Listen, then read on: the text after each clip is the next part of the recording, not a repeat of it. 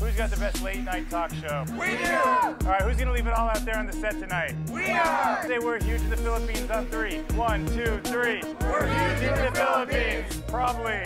Let's do this. Tonight, live from the entertainment capital of the world, fabulous downtown Las Vegas.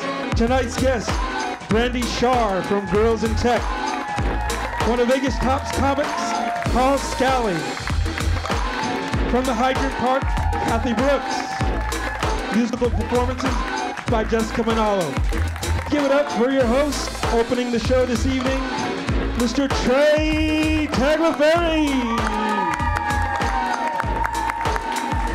All right. Thank you so much. Thank you. Thank you for that great introduction. How's everyone doing tonight? Good, yeah. Two weeks away from Christmas. The countdown has begun. Right? Who's excited for Christmas? You guys excited? Yeah? Lenny, you excited for Christmas? Very, very excited. Oh, that's good. I'm gonna, I'm gonna say right now, I'm not excited for Christmas. I never am. I'm a little upset with Christmas. Ever since I was a little boy, it is uh, it's been really hard for me to enjoy Christmas because there's a lot of stipulations to it. There's a lot of things like, first off, we begin with Black Friday. That's how we start off Christmas. We start it with a thing we like to call Black Friday. Now, I just figured out that Black Friday, they call it black because that's when a company first goes into the black. They're in the red for most of the year and they get into the black, and then that's, that's why they call it Black Friday because that day. I equated it to the Black Plague, and that's the reason why I didn't think it was a good idea because has anyone worked on Black Friday before? It's the pits. It sucks. Yeah, yeah, yeah. Um, it's a, it's, it's a, do you go Black Friday? Do you go Black Friday shopping? Uh, What'd you get? Little Black Friday, little Cyber Monday. Try to catch it all. Okay, that's good. That's good. Yeah. And then um, another thing with my family, I don't know what you guys do, but we just started doing a thing where we draw names out of a hat. Okay, you draw a name, and that's the person that you have to give Christmas to. That's that's your Christmas person. Give them Christmas. Here you go. Here's the name. Christmas depends on you for this person. And then you pick it out. But my family is supposed to be secret. My family, we don't like each other that much, so we don't know anything. So we have to be like, I got you. Uh, what do you want? Hi. Um, are you are you mom? Mom? Nice to meet you. I'm Trey. Is there anything you would want? Is there anything you want for Christmas? Anything special? No? Okay. All right. But then somebody has Christmas and they have to give it to you. They're giving you Christmas when you do that. So then there's that anxiety of faking the gift. Your little brother has you. He doesn't care. He doesn't have a lot of money. He doesn't know what you want. You try to throw out suggestions like, "Well, there's a new book I like to read." He's like, oh, "Okay, fine." And then, uh, and then, so that's that's nerve that nerve-wracking part is giving the gift, giving the giving the gift. That's difficult, right? Are you, diff- are you how are you gonna do for Christmas? No. Are you Jewish? I'm sorry. That's awkward. yeah, yeah. Uh, decorations are, are uh, disgusting to me. I don't like decorations. It's a lot of work because I'm the grunt work. I'm not the eye. I'm not. I don't have that eye for putting green things up. Do you have a lot of? What's your decorations like at your house? Uh, I have a wreath outside, uh, wreath outside the, the door of. Uh, My kind of guy, just one thing. Put it up. Christmas time. That's good. so take it off. Christmas. Christmas is off. Yeah. For me, when I come home, I'm oh, good, you're home. Can you go up in the attic and get all the stuff out? Be careful. Be careful. It's 20 pounds. So you're lifting 20 pounds and you have to put it down. Give it to her. Okay. So you, got, you brought everything down. Now you got to put everything back up. You got to put it up on the wall. Put it up on the wall. Can you move it to the left? Like this. To the left. To the left. Okay. More to the left. Can you move more to the left? More to the left. More to the left. Little to the left. Little to the left. Stop. More to the left. More to the left. Okay. Yeah. Put it up here. Yeah. So I look like this. I'm on a ladder and I'm on the top ring. Okay. Yeah. Yeah. Okay. And then she's like, ah, put it down. Put it down. Okay. Put it down. Put it down. Put it down. All this stuff. And then she says, you know what? Let's move it over here. So I move it over here. Do the same thing again. You know, I, you know what? I don't even like it. I don't even like it. Okay, fine. Put it away. Put it away. That's how it is in my family. And then, then you go to, you get to Christmas. Everything's put up. It took you three and a half weeks to put it up. Then Christmas comes. You're excited. You wake up. You open the presents. You're not excited anymore. You get the gift. Here's the gift. You go. You give it to him. It's a very suggestive gift. You get running shoes. Why'd you give me running shoes? You know, for your New Year's resolution. What resolution? The one where you're gonna lose a lot of weight. Oh, okay. Thanks a lot. Thanks, mom. Thanks for that, that tidbit of little information there. And then, um, and then putting Christmas decorations down. When's the when's the day? When do you put it down? Some people like to put it down on New Year's, right? New Year's Eve. Okay, we're gonna have the Christmas tree up. New Year's Day, we'll take it down. My family, we like to do it Chinese New Year's. So you can keep it up for a couple months longer, right? Thanks. All right. All right. Well, we have a great show for you guys tonight. Uh, next up, we'll have Jillian. She's going to be interviewing Brandi Scharrer from Girls in Tech. But now we're going to go to a commercial break. But first, let's give it up for DJ Lenny.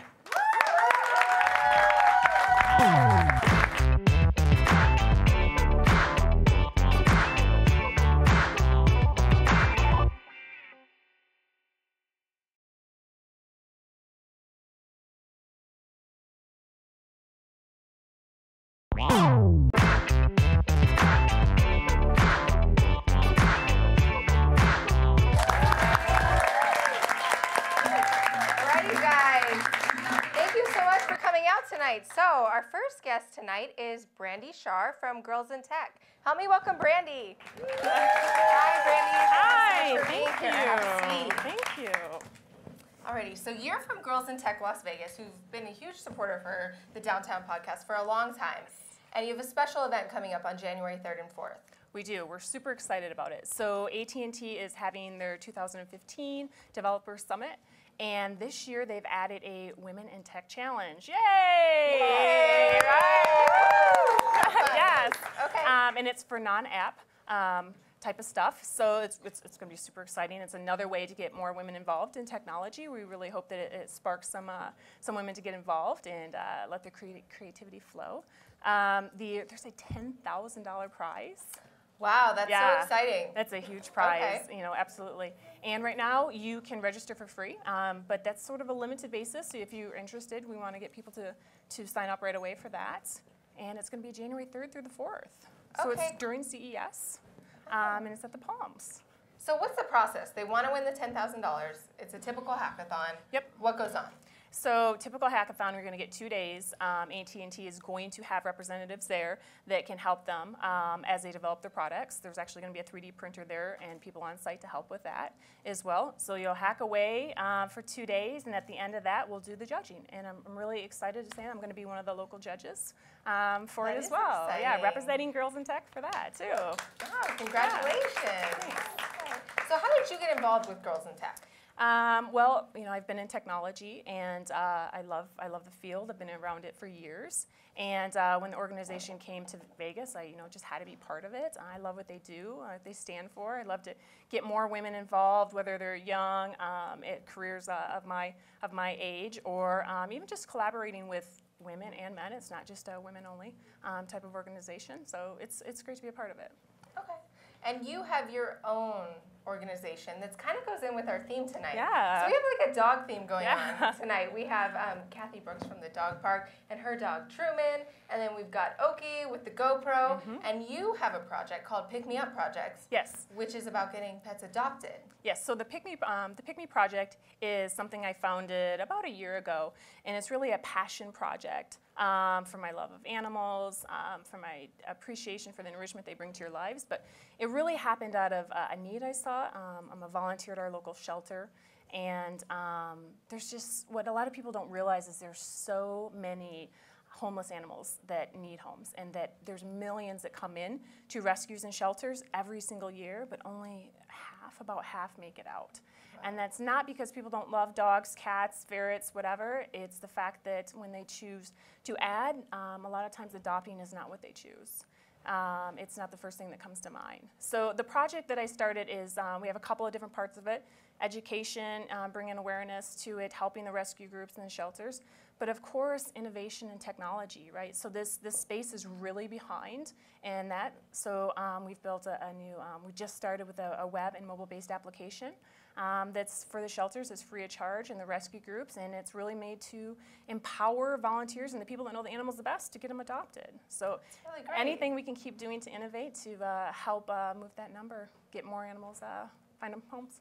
Okay, so tell people where they can sign up for the Girls in Tech hack and where they can find you as well. Sure. Um, so you can follow Girls in Tech on Twitter if you'd like at Girls in Tech LV. Um, if you'd like to sign up for this challenge, you can go to the AT&T um, Developer Summit and sign up there as well. And then um, if you are interested in the Pick Me Project at all, you can find me at Pick Me Project on Twitter as well. And, Okay. and Facebook, of course. All right, well, Welcome. thank you so much for being here, Brandi. Thank you. All right.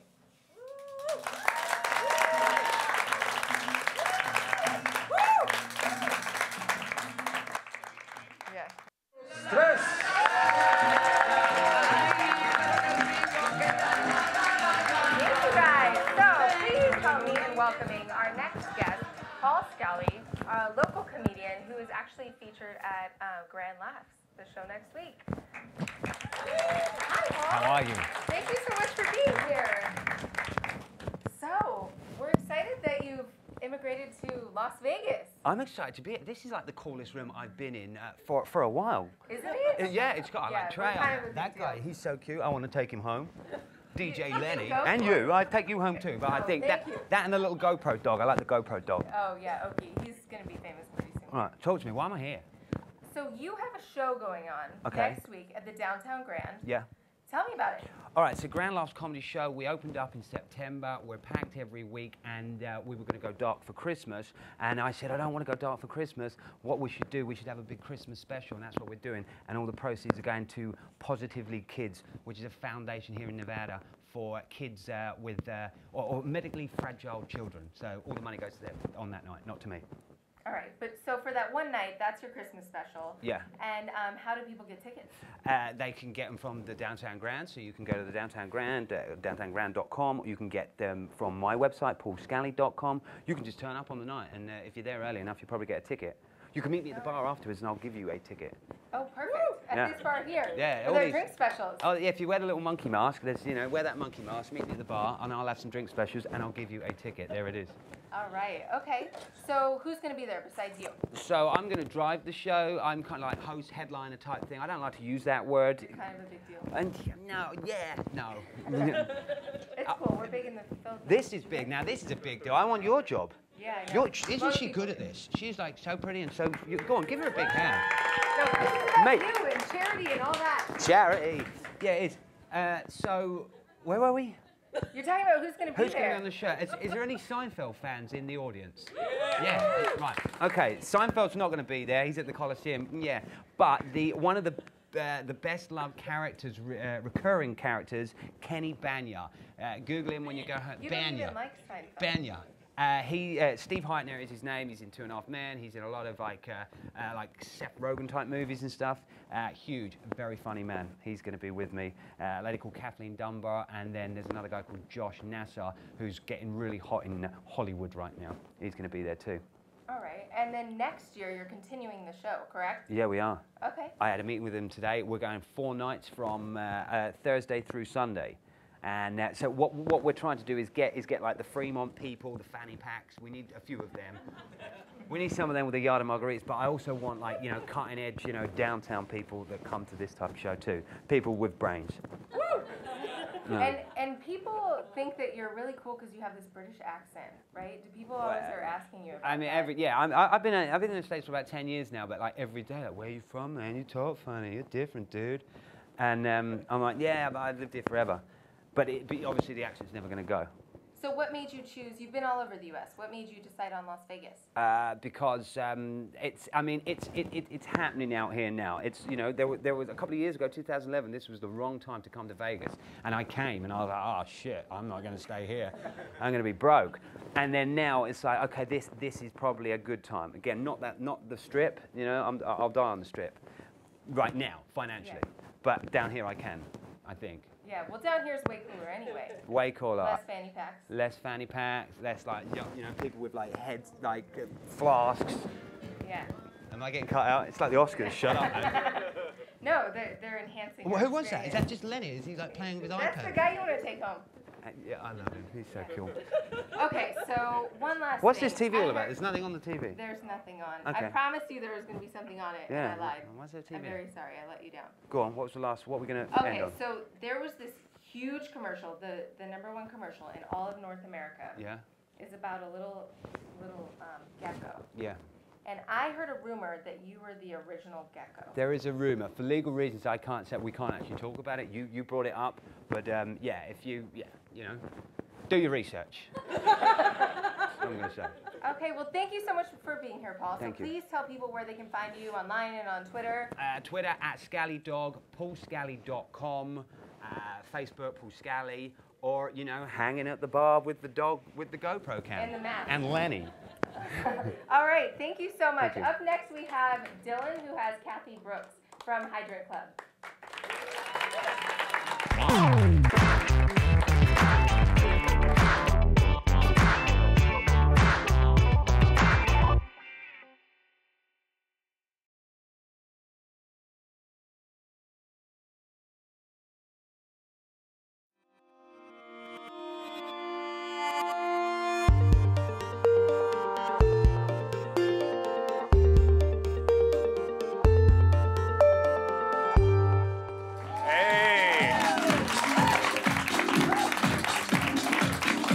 Tunes. Thank you, Lenny.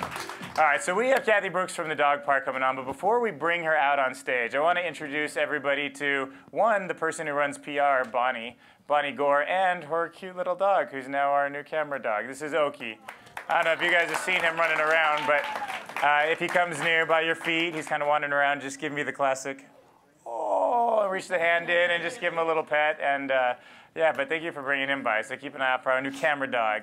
Um, and keeping in that theme, we brought in Cathy Brooks. Now, for the downtown community, we have all grown to love her for a number of reasons. But one of the biggest projects that uh, she's been a part of recently is to create an entire dog park. And it has real grass, which blows my mind, not AstroTurf. And it's the perfect little playground for a lot of these little puppies and bigger puppies. So I want to bring her out here. Everybody put your hands together for Cathy Brooks. Make sure to use the door. Okay. Oh, yeah, it's I just opened Thank the door to a completely wrong direction. That was I was a lousy mime. No, you were. Hi. Are you kidding? I thought miming was one of your previous jobs. Yeah, I talked too much for it. Though. No. It, was, it was a very loud. I was a loud mime. It didn't.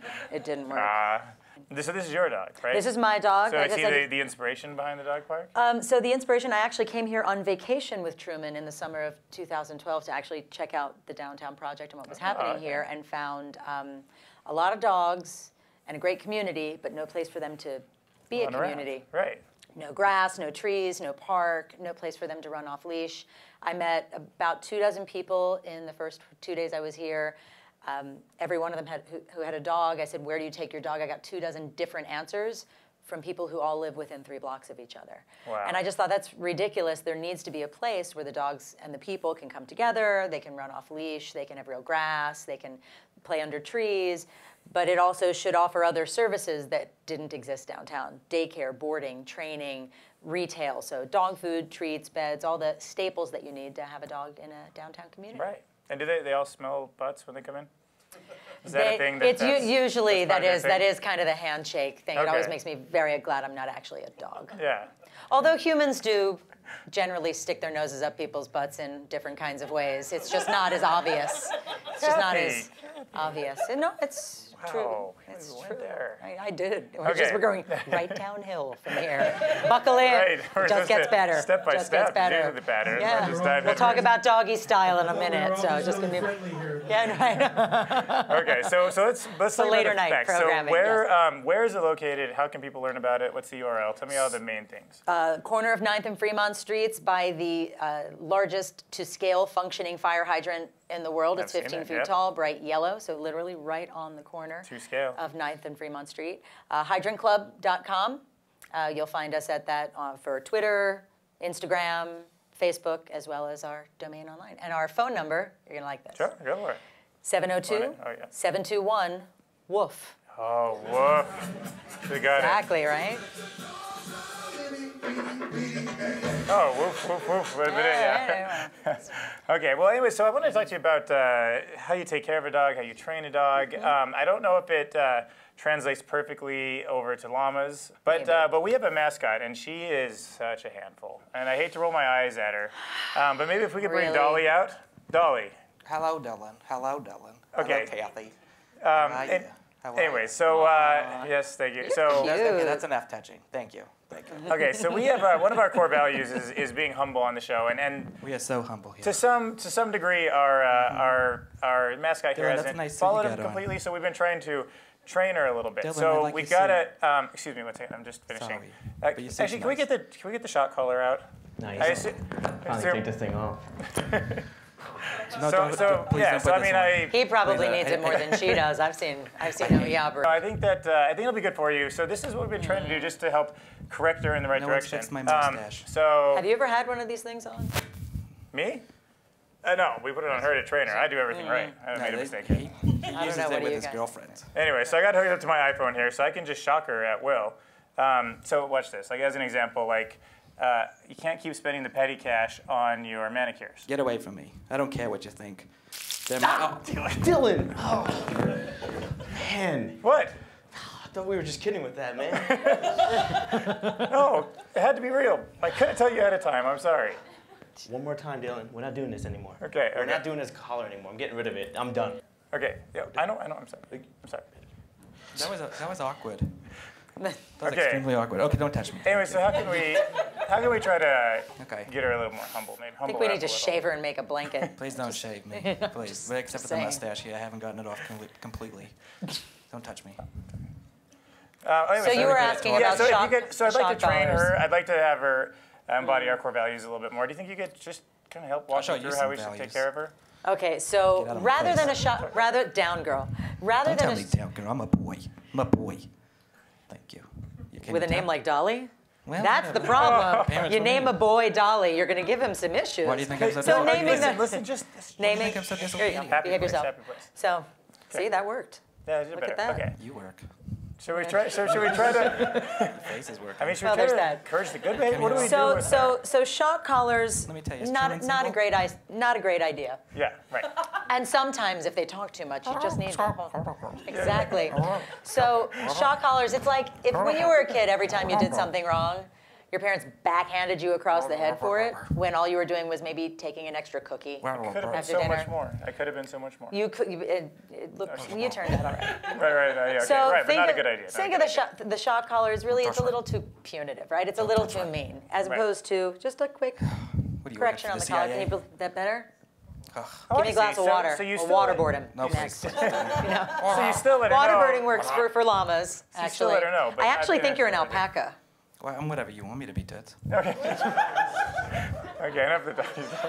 Okay, look, we're coming. I don't think I can go there. Okay, with we're coming to the puppet. other time, but one more time. Maybe later. Tell everybody where they can Not- check out the Hydrant Club online one last time. What you're so uh, Okay. Hydrant Club on Twitter. You treat the animals good there. We treat the animals well. We treat the people well. And um, yeah, it's a social club, daycare, boarding, training, and uh, we make traditional daycare and dog activities roll over. Okay, thank you so of much. For, okay, so hang A on hug during on this way in, a commercial break. We're gonna come right back with Jessica. She's gonna be playing a great acoustic set for everyone. So stay tuned. Thank you guys very much.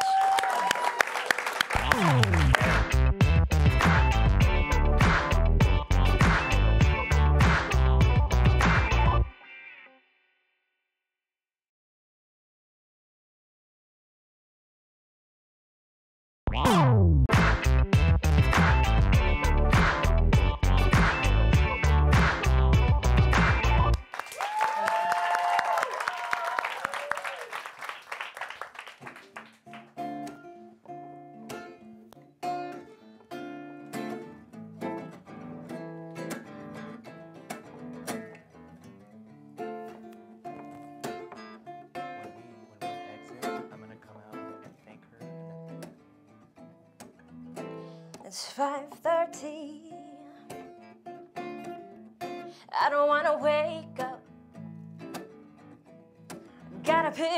makeup. I gotta get up, get up, get up, get up just to see ya. I wanna leave ya. But I think I need you. I don't know why sometimes I get like this. But I just can't stand to love someone like this. I don't know why. I don't know how to find the strength to leave you now. I just can't find the part in me to let myself just be free because there's something I can't see. And there's something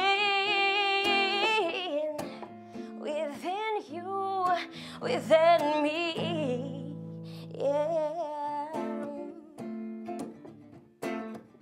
Uh-huh. It's 5:30. I can't wait to see you. But I don't even know how I could be with you. You feed me poison every day and I get lost in love.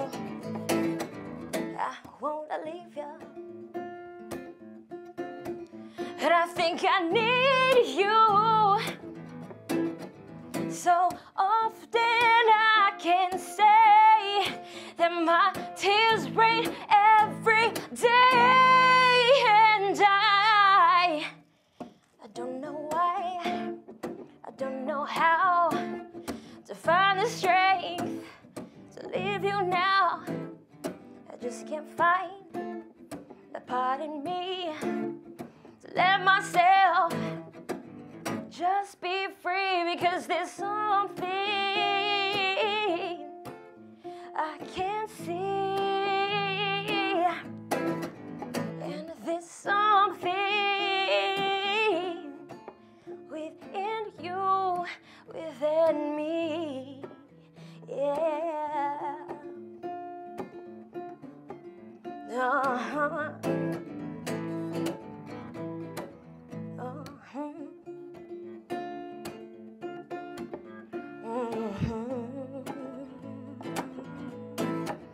Yeah, yeah, yeah. Uh, ooh,